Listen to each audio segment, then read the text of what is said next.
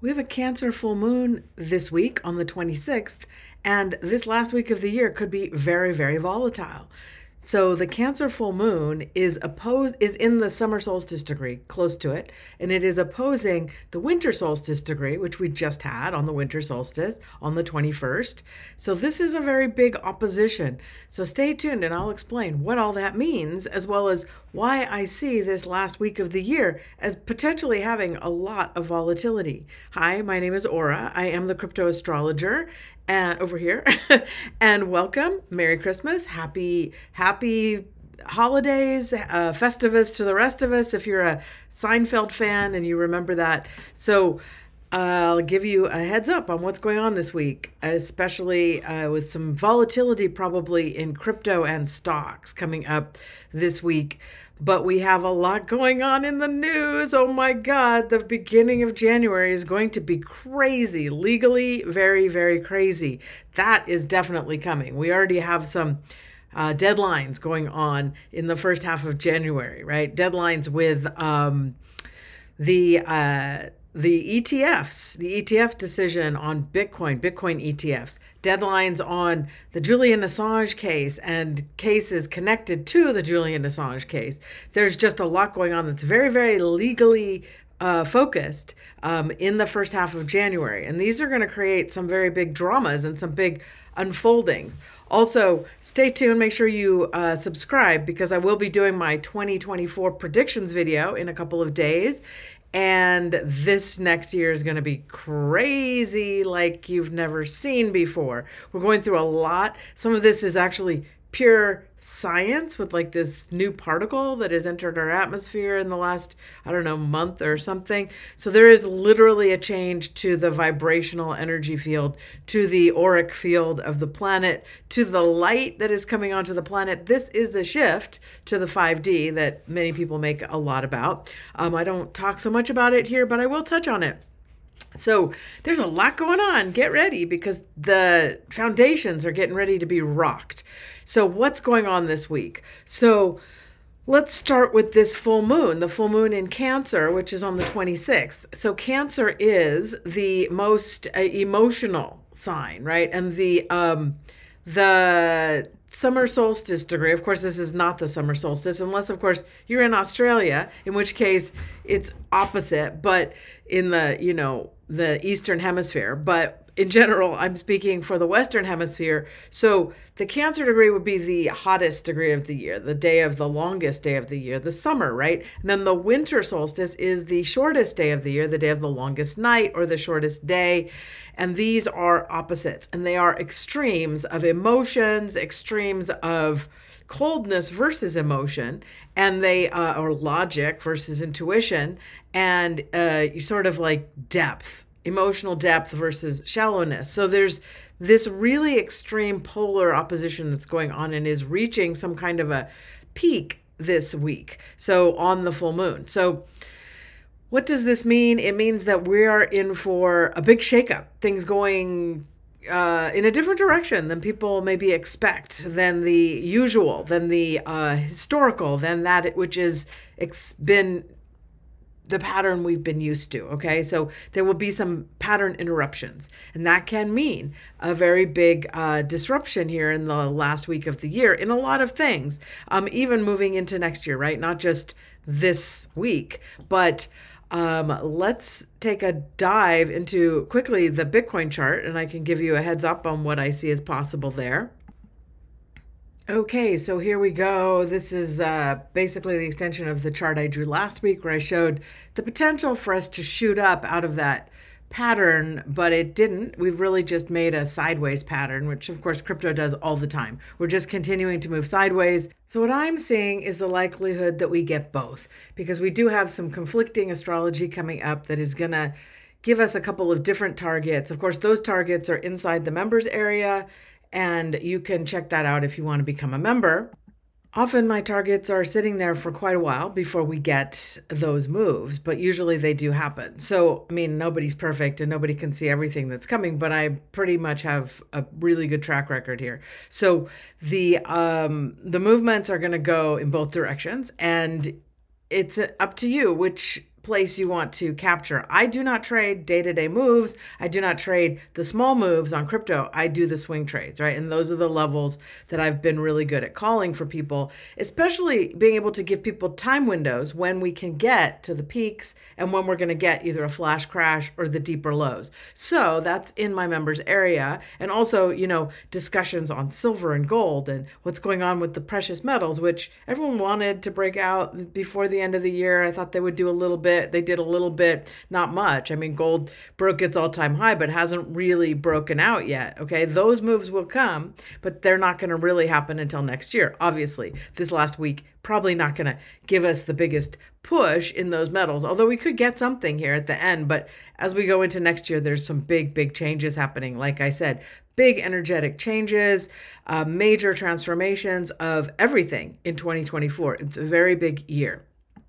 So here we go, this week's chart. So that full moon in Cancer, like I said, sitting in the 12th house, bringing up some pretty weird dreams, psychic, intuitive knowing, um, maybe just avoiding uh, negative, or if you're trusting your intuition, if you're really listening to your intuition, you will be able to get a sense of things that are not quite right, you know, and there can be some pretty intense dreams going on. Uh, with the sun over there in the sixth house, it's like just going about things in the normal, uh, unquestioned way is probably going to just keep you in some sort of a hypnosis or like a dream state. So it's better to kind of question everything a little bit this week. You could get some big insights as to kind of what you've been doing habitually without realizing. Um, there's an opportunity here with the energy of the week to break through that and break free that, especially with Mars there on the cusp of the sixth house, kind of giving us some energy, asking us to change our routines a little bit, maybe pick up some new health habits, things like that. As Mercury joins up with the Mars retro, I mean, with the Mercury retrograde joins up with Mars as Mars moves into the sixth house and Mercury backs into the fifth, there could be some uh, flare-ups of en- of anger and short tempers here over the holidays. So keep it uh, calm as much as you can, especially related to children or even creative projects or um, habits. You know, people like you're in my way, you know that sort of thing.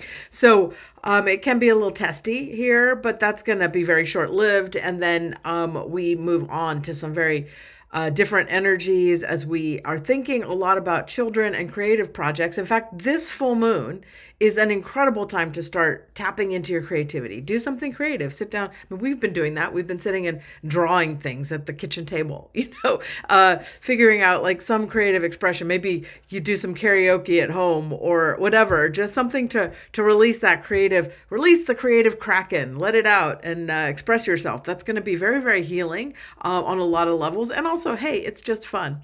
So, we also have the um, the sun up here opposing the moon, which I talked about as the full moon energy, and Pluto right there on the seventh house cusp. Oh my God, that's like that's some big transformation, some big changes in, um, like I said, legalities coming up in the next few weeks. But this is sort of the seed of it. So Pluto is like the law of karma. Pluto's really intense and brings back what we've put out in our relationship. So it's really uh, bringing back rewards or punishments depending on which side of that scale you fall on. So this Pluto cycle uh, on the cusp of the seventh house is making some major, major changes and transformations in relationships. Some of these can be abrupt and even explosive because you know, Pluto's basically the volcanic activity of the zodiac. And usually we're not that interested in volcanic activity in our relationships. You know, passion, yes, but volcanoes, no, because those are quite destructive and dangerous. So this can certainly bring back any energy uh, of that nature and put it back in the lap of the person where it belongs. So there's some heavy duty karma coming in the legal area. Like I said, early January, some legal fireworks. Like you would not believe there's a judgment, there's a call of judgment. And this is going to come down very heavy on certain people, right? People who actually deserve it. So this is actually some form of justice coming forward, which is very you know, exciting and sort of happy for those of us who've been waiting to see justice happen. Um, Venus will be moving into a trine uh, with Saturn and and the moon, the full moon energy over the next week. So that's going to bring us those of us who are balanced and emotionally responsible, mature, handling our stuff, being patient, handle you know just basically dealing with ourselves in a mature way uh, are going to get some big uh, rewards. We're going to get some affection, some appreciation, maybe even some money. There's some good things coming to us here uh, just by doing things the right way. And that's again echoing that Pluto energy on the seventh house cusp. So there may be some financial rewards available here also.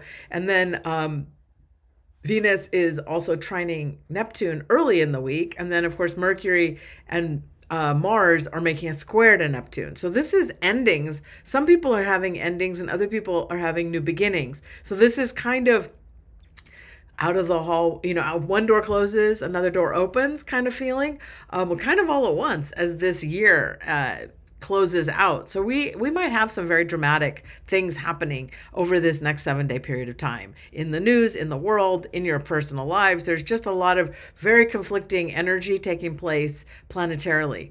And then uh, we have Chiron up there in the on the midheaven or close to the midheaven in the 10th house uh, talking about our soul family and really questioning who belongs there, who really belongs in our soul family, getting closer to those people and maybe taking a little distance when that doesn't work out so well for you. So the North Node up there in the 10th house is bringing us uh, ideas of structure, discipline, hard work, and um, ambition, and as our soul's purpose. What is our life ambition? What do we really feel we are meant to do? And the soul family that is going to help us get there. That is what that Chiron is telling us. That those people are coming into our world, are coming into our environment to help us get there. And there's going to be some support here in this next year in ways that haven't been there previously. So that's pretty exciting. Um, also, uh, the Sun trines Jupiter very early this week, which is you know, people just tend to look good. There, there's kind of a, a blessing and a, a generosity and uh, some sort of philosophical uh, enlightenment available as well there. Especially, we look good uh, in our career. Like those of us who are, you know, doing the right thing can get some sort of uh, benefit, boost. Uh, good for publishing, good for you know, videos or doing anything out into the world, into the public, and getting truth and wisdom out there into the public or uh, to other people that you know and care about. So, this is a real blessing, sort of philosophical uh, opening, and also really good for uh, alliances with people abroad or from different backgrounds than you, people with uh, a different kind of you know cultural background and then we have, like I said, Uranus over there. Uranus, well, I actually didn't talk about Uranus yet. Uranus is still retrograde, still in Taurus, sitting in the 11th house, kind of peeking out there, talking about what our mission is on the bigger picture and how do we, you know, a lot of these things, I would see this as really descriptive of what's going on with Elon Musk and being him being attacked by the EU, how they're going after him, how, of course, the advertisers are going after him. This is like a public stand. And doing things and taking a stand and being stubborn, digging your feet in, which is what Elon Musk is doing. He's saying, "You will not control me. You will not tell me what to do or how to do it." And this is in the to the benefit of free speech, but it's a it's technology, which is Uranus for humanity, and there's a security element involved, the money element. That's where the battle is uh, against him, right? The advertisers are trying to uh, manipulate him with advertising money to get him to behave as they want and they're going after him in every way possible. But I really feel he is going to, on some level, be triumphant because, as he said in his interview, humanity will know that the advertisers destroyed X for being a free speech platform. And that's true. Humanity will um, really look at the advertisers and really look at these companies. And there will come a point, and this is happening more and more over this next 12 months. There's going to be a lot of people standing on principle related to um, technology. And this is also that legality stuff. These are those lawsuits. It's going to be very, very big all through 2024, a lot related to lawsuits, but also very many very unpredictable, unexpected, strange, unexplainable events are going to be happening. the weird, the bizarre, the unexpected, the sudden, the rug pull, the strangeness, the aliens, the uh, just the craziness is going to get off the chart in this next year. You're going to see a lot of really weird stuff happening. And some of it will happen through the legal system, some of it will happen through disclosures coming from the government. Some of it is a lot of stuff coming through the legal system that will dig up some very, very deep, dark secrets. A lot of stuff that the alternative media people already know about. But what is going to do it, the mechanisms by which that's going to happen, will have a lot to do with individuals. Individual violations, individual ways that laws have been broken against certain people, just sort of random people out there in the world where they were maybe subjects of experiments, things like this. And maybe they were being uh, manipulated by whole cabals of people, just individuals who are like maybe like experimental. And so this case, the Julian Assange, the one that is attached to the the people who came to interview with Julian Assange and who they were illegally uh, traced. I mean, the the court, the judge is hearing whether it was illegal or not by the CIA, I believe it was the CIA, by, by their proxies in the UK. These people working on behalf of the CIA to uh, spy on the uh, press people who came to interview Julian Assange, and everything about them was being tracked and spied on after that and during that. And this is what the judge is ruling on. And I will talk about that in this 2024 video that I have coming out. So make sure you subscribe, make sure you share this because this is a key, key thing. And it is not just about Julian Assange, it's about certain random individuals that nobody even consider you know no one would have thought you nobody has you don't know who these people are in your world or in your environment or you might have gone to school with them or whatever but these people were subjects of certain experimental things and of course this is all tied in with all these government secret dealings with entities that are off world, entities that are buried beneath the ground, things that are going on that we're not supposed to know about. And there's great, deep, dark caverns of information that is going to be revealed. And it's going to happen like this. It's going to come through these weird individual stories, a lot of like court cases busting this stuff open. So get ready for the weird, the weird and the wacky, and tap into your intuition, right? Tune into your intuition. That's going to help you a lot this week. But make sure you subscribe, make sure you hit that like button, and please share this. I'm sure someone out there would like to get that information. And for some reason, YouTube does everything they can to stop my information from getting out there. So I could use your help. Thanks a lot. Talk to you guys later. Bye bye.